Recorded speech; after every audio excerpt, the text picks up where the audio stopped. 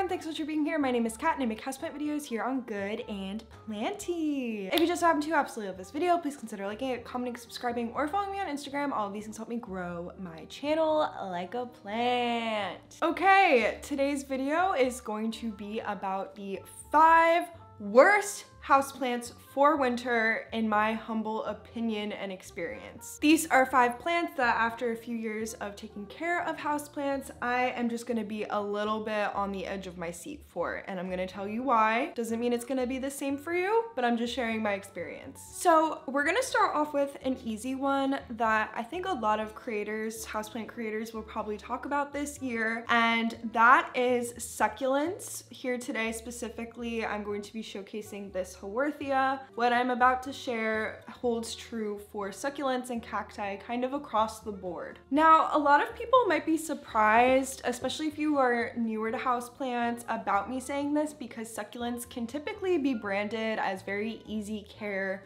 low maintenance houseplants, but the trickiest part with these plants is lighting and what happens during the winter time? Light decreases a lot. There's way less hours of sunlight in the day, as we all know. And that poses a huge challenge for houseplants that are super dependent on that light, like succulents and cacti. And what happens is when succulents don't get enough light, they start to do something called etiolate. So here we have a different succulent and this one is a bit shielded from the light and you can see the impact on it. It's starting to lose a lot of leaves towards the base of the plant. And on top of that, it's stretching out. A lot of people actually think that that means their succulent is growing when in reality, succulents should maintain how compact they are, like typically, depending exactly on what succulent you have. But a lot of succulents want to grow and should grow pretty compact like this. When a succulent starts stretching out and getting leggy and long, less leaves, you know that it is stretching towards the light and it is not currently getting enough light where it is. I am putting succulents hands down number one on this list because of the lighting issue. But with lighting, I might have a solution for you. I wanna talk about the sponsor of today's video, Soltech Solutions. Now, it is no secret that one of the main problems that come up when purchasing grow lights are how expensive they are. But good news for you, Soltech Solutions is running a Black Friday sale from November 22nd. So it is currently running today and it will end on the 27th. They are currently offering 20% off with up to 40% off with on-site discounts. The only code that you need to access this is the code Black Friday and that is the only code that is gonna be active during the time of this sale. So if you are used to using my personal a Good and discount code that will not work during this time frame, you want to use the code Black Friday. Another added bonus is that customers will get two times the rewards during this sale, so make sure you go ahead and rack up those rewards, get your savings. They will be linked down below in my description box along with the code. And yeah, I truly love Soltech with my whole heart. I have been a huge fan of them ever since I gave them a go. It's been months of me using them and my houseplants have reacted really well to them. So I will always stand by Soltech. now, with all that being said, we are going to move on from succulents to another plant with a different issue. Let's talk about, okay, this plant I don't talk about all that much on my channel, and that is the Alocasia Dragon Scale. And this is the only Alocasia I have left in my collection. I've gotten rid of all of the other Alocasia, mostly due to spider mites, which they are super, super prone to getting. I've actually grown this one from a stump. The problem with Alocasia during the winter time that makes it a little bit challenging is the fact that they can go dormant. That is not necessarily a bad thing. A lot of houseplants do go dormant, but it does make it a little bit more challenging to be there and take care of this plant year round. I actually do have a whole video on alocasia and alocasia care if you wanna check it out. It is a little bit older. The quality is a little bit less fancy than now, but it does have a lot of good information um, and I do a deep dive on this plant. The main things that I'm gonna say uh, in regards to alocasia in this video is to make sure you're not overwatering this plant. This is a plant that you wanna kind of communicate with and let them guide you with what they need. If the growth is slowing down and they are losing some leaves, reduce that watering, don't fertilize to put a band-aid on it, and just go with the flow. Get rid of completely dead leaves, let the plant get rid of them on their own time. It'll die back, you kind of let it sit, and then come springtime, you can start increasing watering again and start to bring this plant back to life. It is not an impossible plant by any means, and I'm not saying dormancy is even guaranteed, but it is a plant that has a little bit of like a different care routine than some of the other houseplants we're so used to and have a bit more of a straightforward growing season or growing year. One thing I will say that I am doing to keep this plant happy is I keep her in sphagne, so I'm still letting her grow out her roots and really establish herself in the sphagne. I do keep her in my favorite. I'm sure my good implanters know where I'm going with this.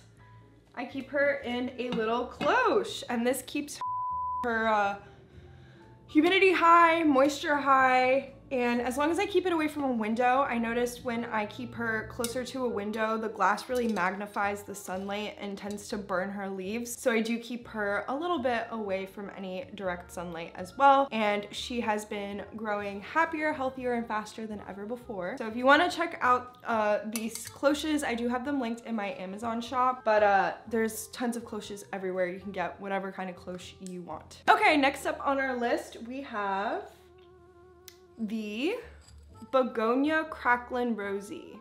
Ooh, ah. This plant is on this list because A, begonia in general, in my experience, can be a little bit trickier to take care of. Cane begonia, such as this one, are a bit easier. For me, the biggest challenge I find with begonia during the winter time is keeping humidity high. These plants can definitely be prone to crispy tips if your humidity and moisture levels drop too much too fast. The plant will get some light crisping and probably leaf loss eventually. The way I combat this with the begonia is yet again a cloche. I really love cloches for smaller plants like this. It is a very easy and beautiful solution, but you can also invest in things like a humidifier to provide very consistent and uh, what's the word I want? Reliable humidity. Begonia, it's like not the hardest plant in the world to take care of during the winter, but there are definitely a lot of natural things that will happen like your heat turning on, making the air drier, that could potentially upset your begonia. We all know begonia can be a little finicky. okay, next up on the list, I'm gonna get a little bit general here. So I'm gonna talk about Hoya in general, actually, which might come as a surprise, but for demonstration purposes, here I have my Hoya obovata. Hoya in general, I have come to find are typically pretty simple easy and vocal houseplants. I don't find them to be immensely challenging. I am going to kind of umbrella my words today because there are so many varieties of Hoya out there and some are much harder than others. In general, I do typically have good luck and success with Hoya and I feel like a lot of you feel the same way in your homes. However, I am talking about Hoya today in regards to winter because of temperature and Hoya are actually fairly sensitive to big temperature changes and drafts. I do have some Hoya next to windows and I will definitely be keeping an eye out on how they're doing being close to a colder area such as a window. Just keep an eye on them. If they start having a lot of leaf loss and decline, just make sure you're moving them to a little bit of a warmer environment that isn't too dry. Again, you can add a humidifier or something like that to improve the environment surrounding your Hoya. And lastly, today I wanna talk about the rattlesnake calathea. And this one, I'm gonna add a huge disclaimer to. I am so surprised with the ease I've been having in taking care of this plant. When I hear calathea at this point in my houseplant journey, I don't think I am better than them. I run in the other direction. They have brought me so much stress, so much death, so much worrying that I tend to steer a bit clear from Calathea even though they are absolutely stunning houseplants. Beautiful, some of the most gorgeous leaf textures and patterns and colors within the houseplant community that I've seen, especially affordable and accessible ones. But I do have to give immense credit to the rattlesnake calathea because this plant has been so easy, so adaptive, so flexible to my care and home that I don't want to paint a bad picture for this this specific calathea. I really do love her and I've had like no crispy tips during my care with her. So this is a success plant, but I did want to use her to kind of talk about Calathea in general. And this is my first winter with a rattlesnake Calathea specifically. I am just kind of flagging that this could potentially be an issue. Calathea are known to be uh, drama queens of the houseplant world because they love like filtered distilled water, they love high humidity, they love a perfect amount of dappled light. They are very needy and specific in their care and it can be a tad bit overwhelming to take care of these plants even when it is optimal growing season and it can only get more challenging during the winter times when there is less light, more dry air, and uh, their growth slows down so you might not really know how much water to give them. My suggestion for Calathea kind of similar to how you handle the alocasia is to just let them guide you. And that is a skill that definitely takes time, patience, trial and error. So don't beat yourself up if it's not coming to you super naturally right away. Some tools that might help are, again, grow lights where you can have a really consistent and scheduled a program of lighting for your houseplants.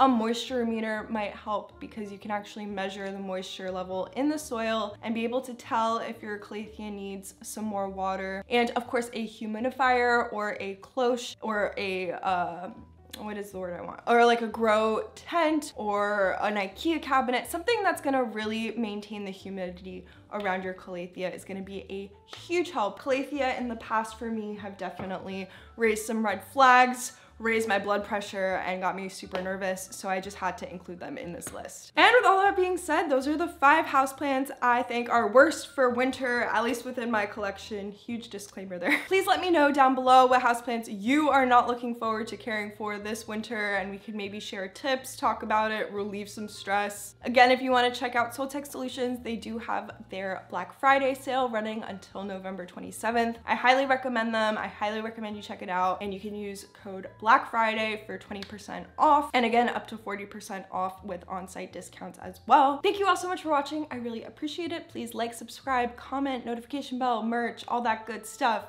And I will see you in my next video. Bye!